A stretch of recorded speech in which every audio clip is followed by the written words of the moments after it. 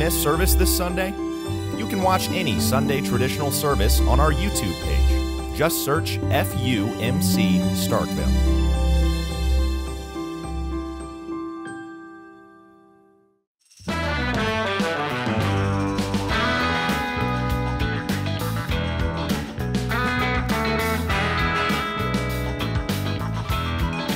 The book of Genesis tells us that God created the heavens and the earth and everything that lives upon the face of the earth. In the book of Genesis, chapter 1, beginning in verse 9, we find, And God said, Let the waters of the sky be gathered together into one place, and let the dry land appear. And it was so. And God called the dry land earth, and the waters that were gathered together he called seas. And God saw that it was good. Then God said, Let the earth put forth vegetation plants yielding seed and fruit trees of every kind on earth that bear fruit with the seed in it. And it was so. The earth brought forth vegetation, plants yielding seed of every kind, and trees of every, of every kind, bearing fruit with the seed in it. And God saw that it was good. As we continue in the book of Genesis, we'll find in Genesis chapter 1, verse 24, that God creates all animal life, everything that swims in the sea, everything that flies above the earth, and everything that walks or crawls or creeps upon the face of the earth. And then when we get to Genesis chapter 1, verse 26, God creates humankind.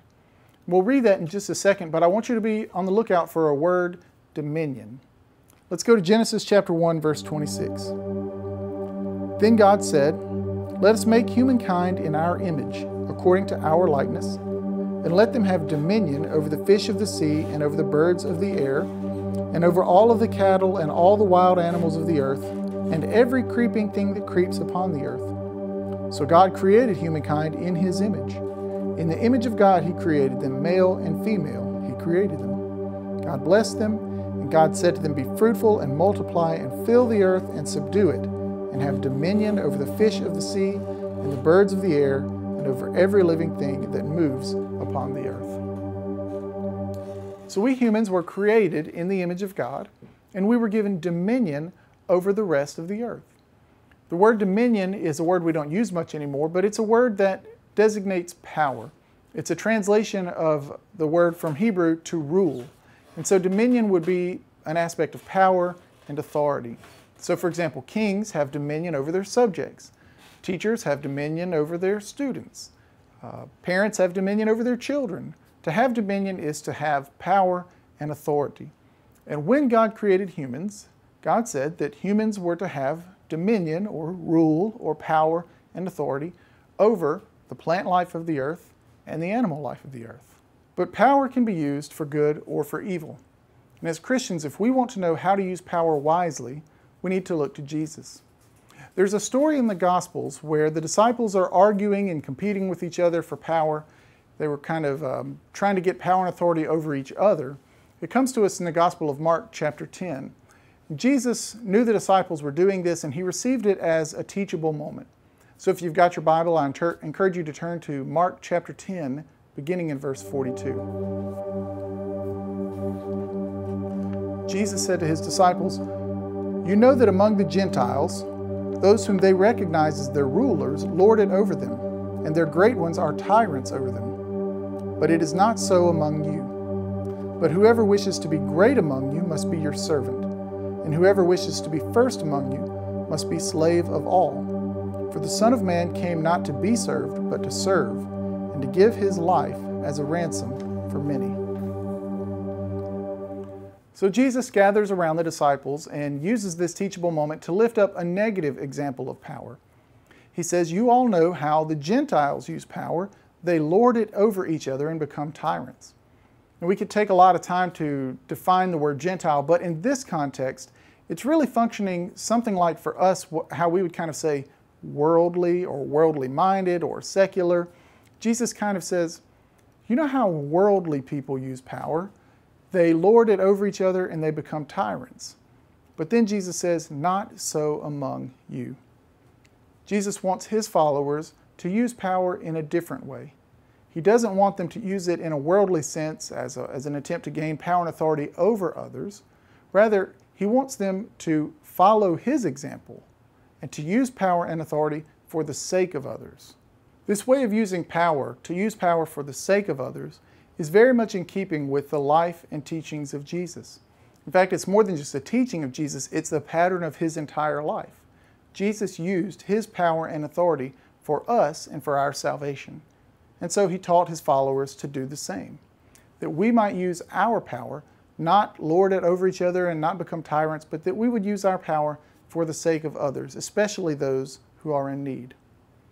And I think at some level we understand this that, that power and responsibility and authority is meant to be for the sake of care, not for the sake of abuse. For example, when a child gets a puppy, the parents will, you know how you know how this works. The child will beg for a puppy and beg for a puppy and beg for a puppy, and the parents say no, no, no. Finally, the parents will say, "Okay, you can get a puppy, but you are going to have to be responsible. It is your puppy. You're going to have to feed the puppy, and care for the puppy, and you're going to have to take responsibility for this puppy. Now, that's kind of how it normally works, but can you imagine a situation where the parent said, okay, we'll give you a puppy, but you're going to have authority, dominion over this puppy. So if you want to feed it, feed it. If you want to starve it, starve it. It's your puppy. If you want to pet it, great. If you want to kick it in the head, kick it in the head. You have power and authority over this puppy. We, your parents, we don't want to get involved. It's your puppy. You just do with it whatever you want to. Now, I think for most of us, if we heard a parent telling that to a child, we would try to, I don't know, call 911 and tell them something bad or try to move out of the neighborhood. I don't know. It'd be kind of scary, right? Because we understand that responsibility and authority and power, that's meant to be used for the sake of the animal, not against the animal. And if the child were to take the authority given and use it to abuse the animal, we would know that's, that's not really what is intended. But sadly, that is how many of us have interpreted the words from Genesis that humans are given dominion over plant and animal life. In many cases, humans have received that authority and used it as an excuse to do with plants and animals whatever we want to, forgetting that God gave us dominion for the sake of all of the earth, and that if we are to follow in the footsteps of Jesus, all power and authority is to be used for the sake of others, especially the weakest and most vulnerable among us. And when we use our power and our authority to care for others, to lift them up, to guard those who are vulnerable, we are following in the footsteps of Jesus and growing as disciples. So I hope you'll hear this today that you have power and authority to care for the resources of the earth, the plants of the earth, and the animals of the earth. And when you care for them, you're following in the footsteps of Christ and imitating the one who said, For the Son of Man came not to be served, but to serve and to give his life as a ransom for many. Join us Sunday morning at 11 a.m. for our traditional service.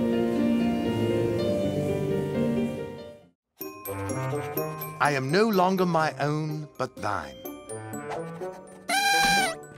Hey, brother, why so quiet? That's so last century or three. Nowadays, we party for New Year's Eve. And that is precisely why I am being quiet. This is the perfect time to write down our bad habits and recommit to God. It is a watch night. Oh, already there. No, it has everything to do with what our Moravian brethren showed us long ago. Instead of welcoming another year with wild revelry, we Christians can choose to renew our covenant with our Lord and try to do better. Okay, I'm in. What's the plan? I'm just writing down some notes about bad choices I want to leave behind me, and then I'm heading over to church to join the others to sing and pray as the year winds down. Join me? Hmm. How long will they be there? Might take me a bit to do my list. Sometimes they burn the notes at the end. I'll hurry. I hate to miss a good fire.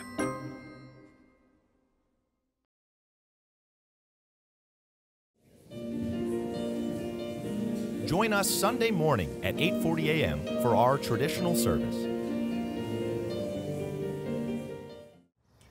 And we're back. Earlier we talked about creation care and how God has given humans dominion over the plants and the animals of the earth. And we discussed how dominion is power and authority, but it's power and authority that is meant to be used for the good of all of creation. Now, a lot of times when we have animals in our homes that we think of as pests, the way we handle that is we just kill them. But that's not really a good way of practicing the stewardship that God has given us. That's not really a great way to use the power that we have for the sake of animals. And so today I'd like to show you a, a creation care way of dealing with pests in the home, a, a positive, loving way of dealing with animals that get into your home that you may not really want there. So, in order to do that, I've invited our exotic animal expert, Bill Green, and he has brought with him a guest. So, Bill, who have you got here? I've got my uh, pet spider. It's called a Bavarian uh, carpet spider. A Bavarian carpet spider. I have never seen a Bavarian carpet spider. They are rare, um, Okay. particularly in the United States. But Okay. uh, I brought one over here. Wow. Uh, it does not need to get out of this cage. Okay, well, that's one, that's one of the things we're going to do. Now, so is it, is it aggressive all the time? Only if it feels threatened. Okay, then that'll be great because Yes, um, what, what I want to do is show these good folks how to how to deal with a spider like this in their home in a non-aggressive or non-threatening way. So I think actually we'll probably be fine because I'm not going to. As long as it's there, uh, undisturbed, we're okay. Yeah, we're not going to we're not going to do anything to. Does it have a name? Bavarian. Bavarian. We're not going to do anything to Bavarian to stir him up. I'm just going to show you folks um, how we want to, if you have a spider like this in your home, how you want to capture the spider, not kill the spider, but capture and release the spider. So in just a second, we're going to um, we're going to have to let him out of this just so I can show them how to get him back he'd in. like to look around, Okay, but as I, he's not threatened. I won't do anything threatening. Okay. All right. Well, we'll get everything set up with Bavarian here, and we'll be right back. Okay. Join us Sunday morning at 11 a.m. for our traditional service. All right, everybody. Thank you, Bill, for helping us here with Bavarian. So, Bavarian is out, and what we want to try to do is, is I want to try to show you a non-violent, non-aggressive way to deal with pests in your home. So, what you're going to need is a, a cup. Usually, something a, like a Nuke's cup is fine, but um, Bavarian's a pretty pretty serious spider here. So, we're going to use a country crock bucket here, and then you're going to need a sheet of paper. This sheet of paper might be a little flimsy, but uh, we'll just kind of have to feel it out. You know, if you've got a cardstock paper, that's even better. But what we're going to try to do is come up on Bavarian really carefully and, and kindly, and we're going to place the bucket over him. Then we're going to slide the paper under. Then we have him just like this, and we can carry him outside and set him free. Or in this case, we'll put him back in his uh, his uh, thing that Bill brought, the cage or whatever. But so that's what we're going to try to do. We're going to try to do that very calmly and non-aggressively. Okay. And one thing that I like to do, uh, because we are all brothers and sisters in creation as created beings. So one thing that I really like to do is just try to talk to the animal as I approach it in a calm and soothing voice. All right. So let's try to do that now. Hey, brother Bavarian. Hey, brother Spider. Here we go. Just want to get you right here. Here we go. Just going to try to get. Ah! It's on me! It's on me! Get it off of me! Sweet Lord, help! And we're back. All right, pe- all right, people, we're back. Everything's fine. Everything's fine. Just want to close this out by telling you, know, if you have a spider like this in your house, the main thing you just want to do is just want to real calm, get your shoe off, and come over and just be like, die! Join us Sunday morning at 11 a.m. for our traditional service.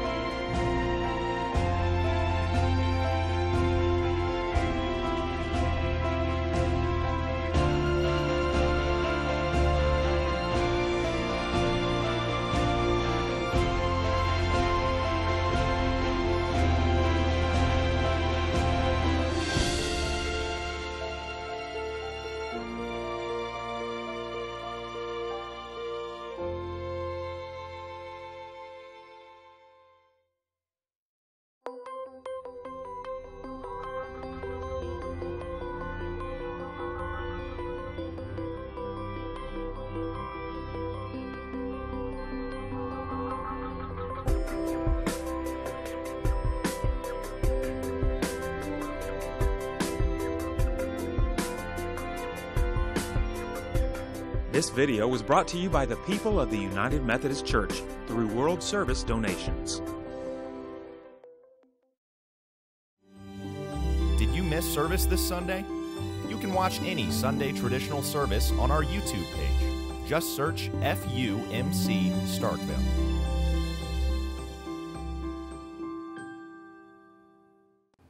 The first image of God we get in the Bible is God as a gardener. In Genesis chapter 1, God is fashioning the earth and the trees and placing the sun and the moon and the stars in the sky. And then in Genesis chapter 2, we get this incredible description of who God is and what God does. Genesis 2 says, Then the Lord God formed man from the dust of the ground and breathed into his nostrils the breath of life, and the man became a living being. This passage portrays God as one who reaches down into the dirt and shapes and molds the soil, bringing forth new life, the life of the human being, and then breathing the breath of God, the life of God, into that human being. And isn't that what gardeners do? Gardeners don't grow humans, of course, but they do care for and nurture and tend the soil so that the soil can bring forth new life. So, one of the very first images we get in Scripture is God as a gardener. Think about some of the gardeners you know, and think about some of the habits and virtues that they possess. Gardeners have to be attentive to care for the plants, and, and they have to be patient because growth takes time. Gardeners have to be generous with their time and energy, committing themselves to nurturing and caring for the plant and for the seed and for the soil so that it can bring forth new life. And God is all of those things and more with us. God is attentive to our needs. God is patient with us in our failures, and God is generous to us. So, one of the very first images we see of God in all of Scripture is God the gardener. But God the gardener doesn't stop in Genesis. So, I encourage you this week get out your Bibles and see if you can find other places in Scripture where God is portrayed as a gardener. And that's this week's Image of God. Did you miss service this Sunday? You can watch any Sunday traditional service on our YouTube page. Just search FUMC Starkville.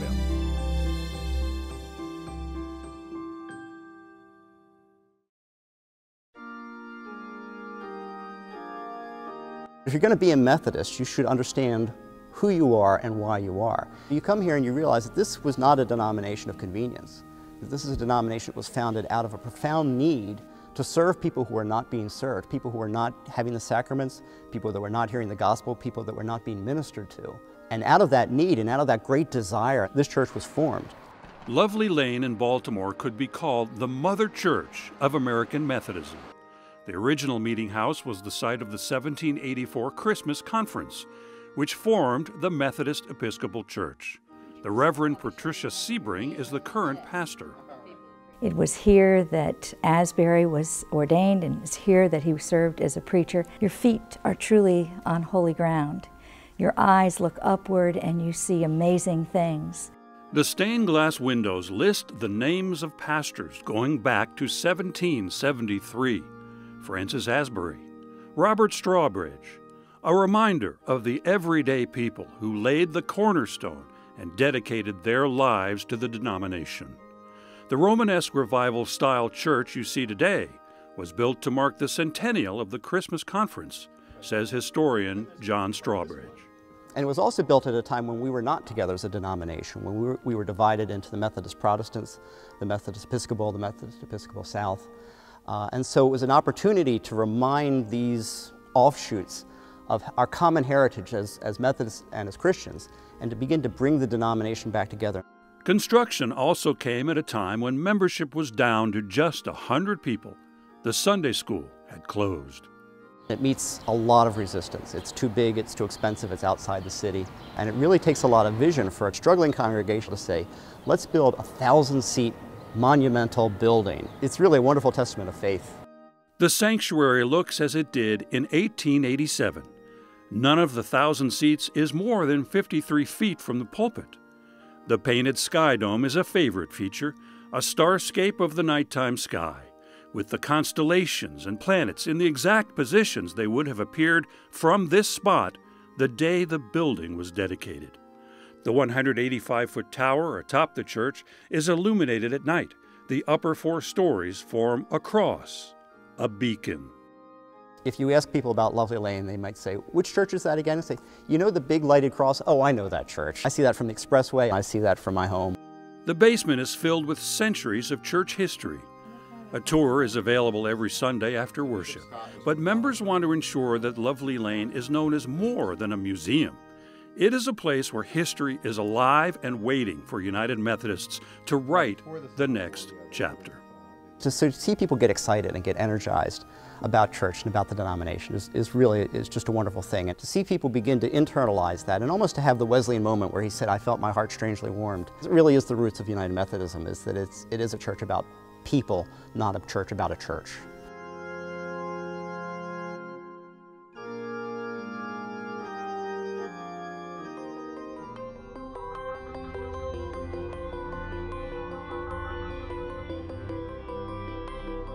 This video was brought to you by the people of the United Methodist Church.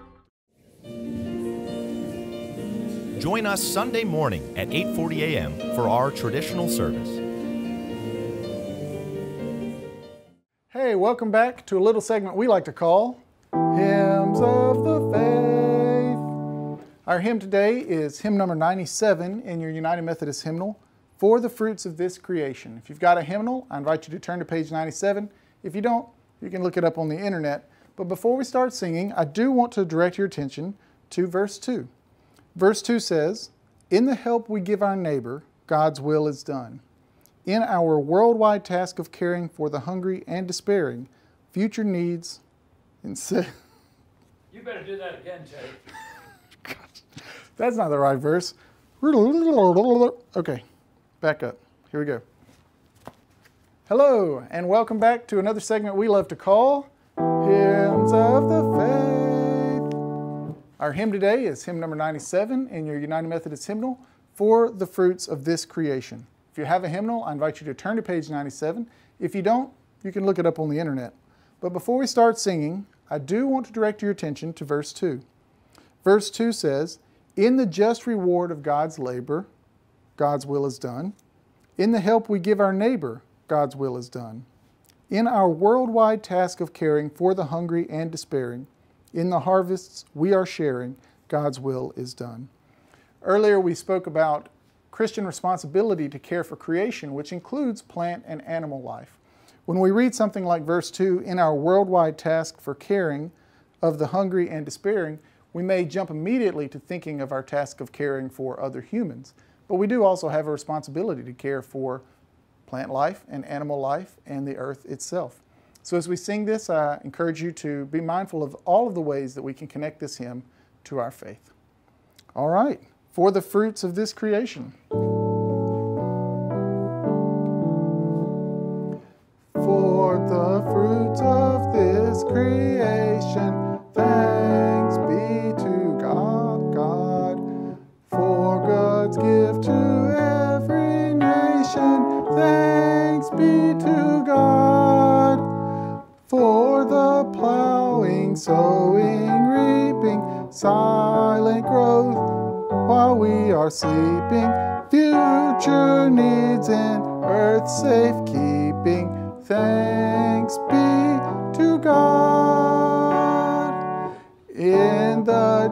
Just reward of labor, God's will is done.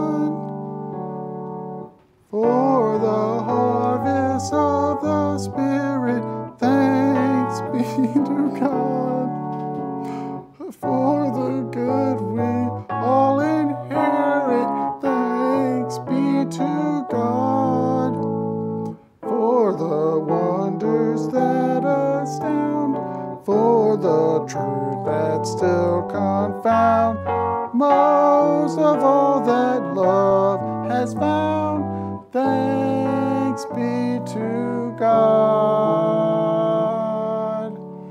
thank you all so much for being with us as we celebrate this hymn of our faith.